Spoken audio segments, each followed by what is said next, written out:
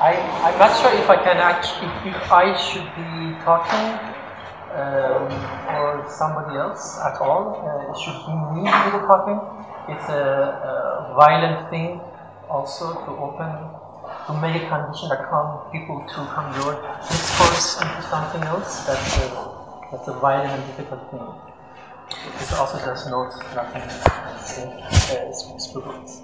So I want to continue from yesterday's uh, talk, if you were there, uh, where we ended with the fox uh, going for the crabs and putting, uh, putting his paws into the into the fat that was supposedly creating this horrific sound in, in, the, in the forest, but it was only fat for him. And uh, before going, uh, I want to open another angle towards that story of the fox uh, and the sound, uh, which is about the animal trap. Because um, at the same time that the fox goes to find the source of the horror, we don't know if it could be a trap set up only for him, not any, anybody else. So he, he's also going for that one. But before that, uh, I also want to um, set up a kind of a position for myself. Um, there are like two things that I like. Um, I, want, I want to like hang on to them. One is that um, as much as that you or Sina wants to try to say something, there's also something that also trying to say you or to say Sina. You know what I mean?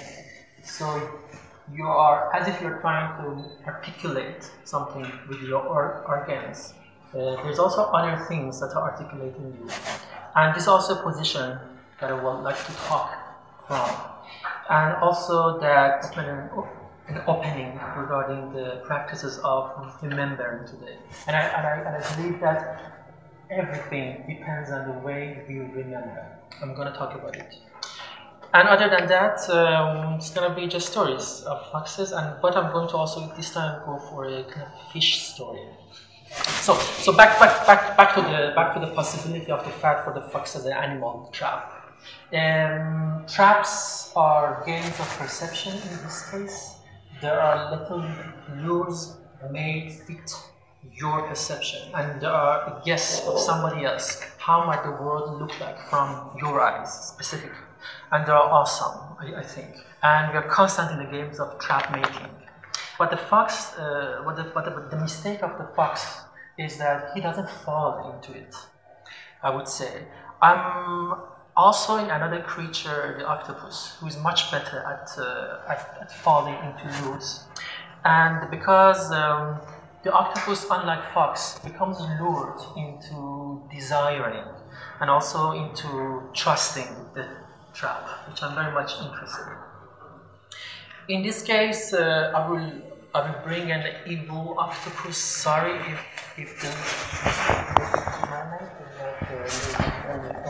but uh, part of the industry of storytelling that one uh, is growing up with. So I'm very much also interested in the in the witch and the evil itself. I love evil. I, I, I don't know about it. Yeah. I believe in evil. It's awesome. As opposite of a godly purity, maybe, which also used to be category crossing monsters. Also, a force of liberation, beauty, and complexity, I would say.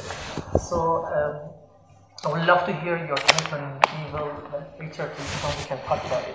But, I'm taking evil unless it's too evil, which is super scary. But uh, in some doses, I, I, would, I think we have, uh, I, would, I would put my cards there. And uh, back to the idea of Fox going to the trap, the game of perception. I like to make perception also a leap. So, and also be skilled in different modes of perception, even not perceiving. It's also super important. Rhetorical perception could be a thing, something like or um, perception, and uh, also having a taste for the ring and perception. Uh, will also open those that kind of game that uh, your ability to be caught into, into an assemblage, uh, accidentally or purposefully, uh, made by somebody else. And also something that also yesterday we talked about how um, how little monsters are are the one who are building the world. Uh, I, I, want, I want to open up today. So there's extremely important and interesting things about the trap in the fox story. Because when the fox sees all the animals escaping in one type of direction, he goes he goes towards the opposite uh, opposite to find out what is the source of this horrifying sound that everybody escaping. So the traps are also about nearness and the, and the bodily proximity to, to them. When you're caught in one, you, you become a body fully engaged into, into, into something that's also a game of will. What does it want from me? I resist or not. So it's also a game of perspective. If you look at it on the right way, you are fully fabulated into something extremely interesting. Or not, or not. Um, this also reveals the fox relationship to the forest. Okay? So it's not an abstract relationship, it's a material and a physical one. Its embodied one is also based on not trusting the stuff or not trusting the signs or the potent signs that, that an animal is, uh, um, it's also a very important thing for the fisher uh, to know what the fish loves. In this case, that we will also cut into it.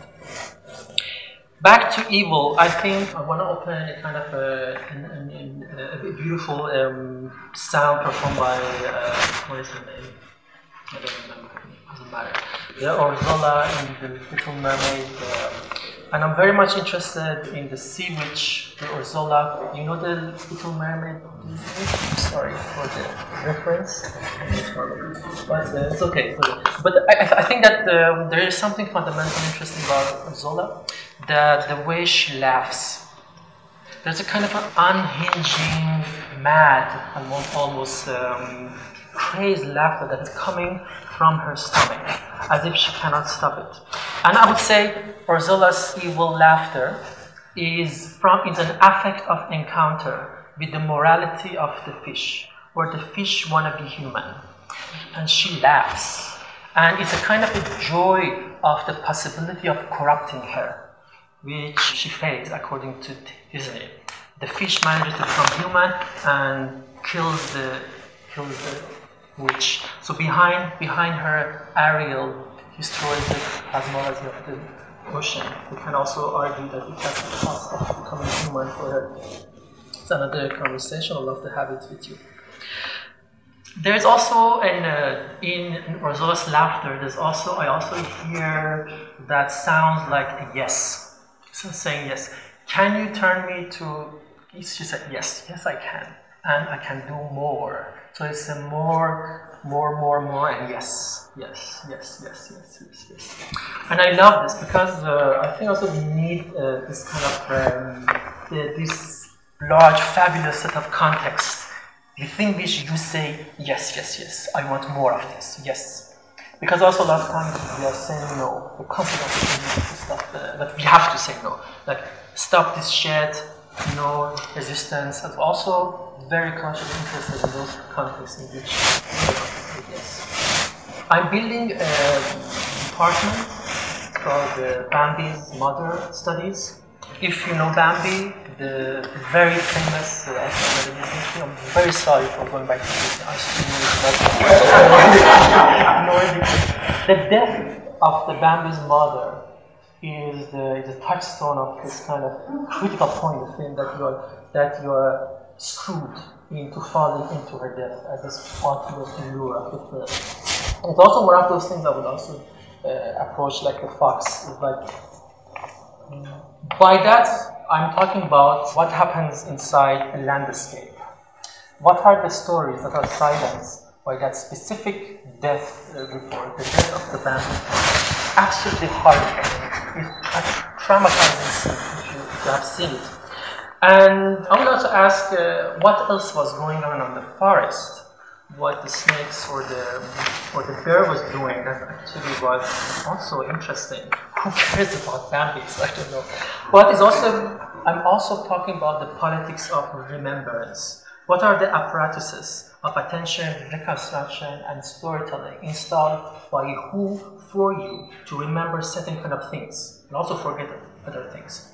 Bambi's mother would say, also to get in the politics of remembering.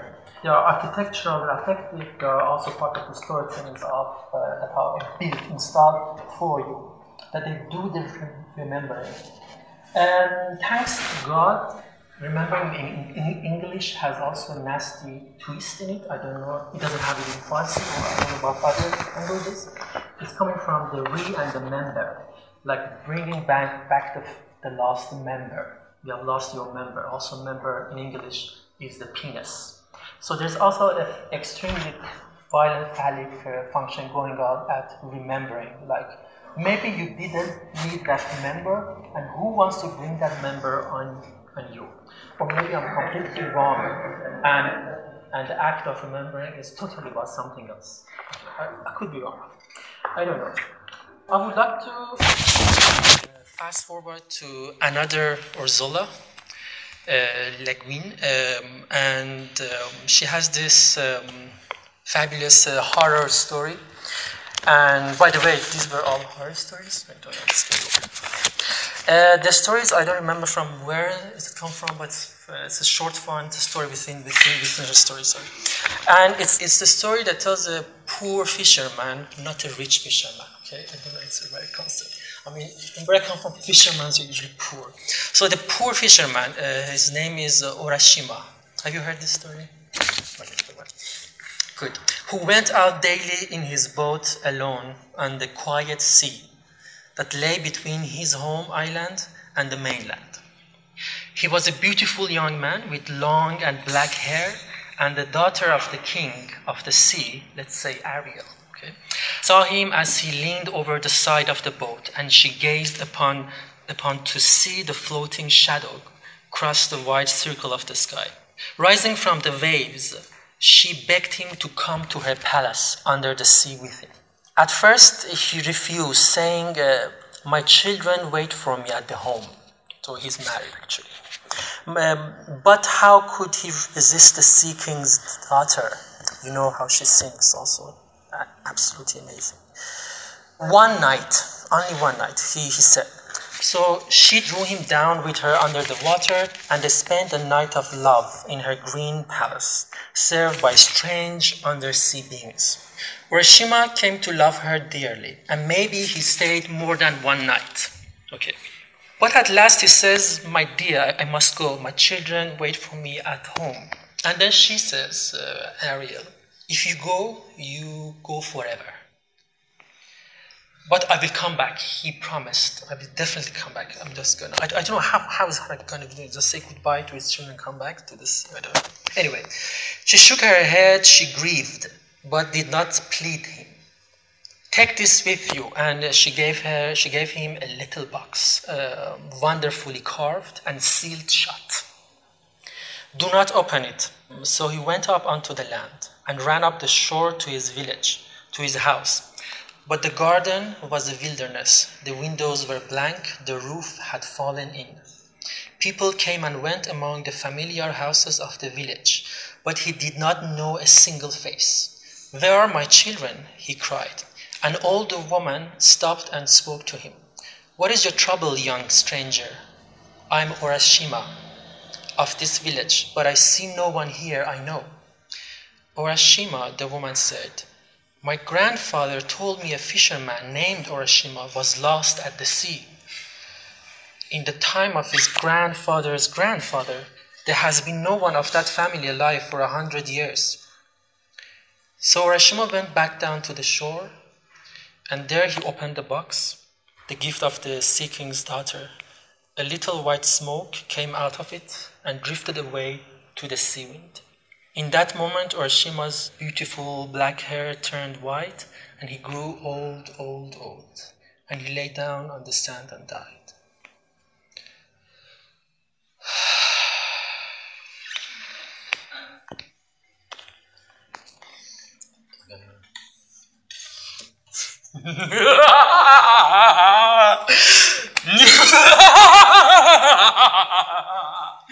I can't do Ursula's even laughter, sorry. Okay, let's go to the other room um, and continue the story in another room. Follow me. Please if you need a chair, grab a chair or a blanket. Um, and, and come.